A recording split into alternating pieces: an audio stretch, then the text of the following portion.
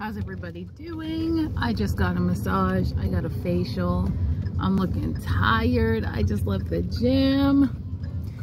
I've been working. What a day. Uh, but I hope everybody's doing well. You guys, I promise you, I've got a YouTube update coming soon. Believe me, this one's powerful. I mean, we got to get out of our own way, you know? Like a lot of times as entrepreneurs, we get in our own way and uh, that can that can stop us from getting to the next level.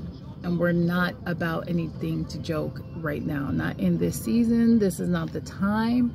This is a sit down focus and everything's going to try to throw us off kind of season. It's about focus it's about precision and accuracy and making sure we're doing things logically. So and and and of course by the leading of the holy spirit. So i'm definitely excited to share this with you. It's been a lot. I've been growing. It's loaded, but in the meantime, I'm going to upload some older videos that I had just so you think, just so you know I'm still around. So I'll take talk to you guys soon. See you.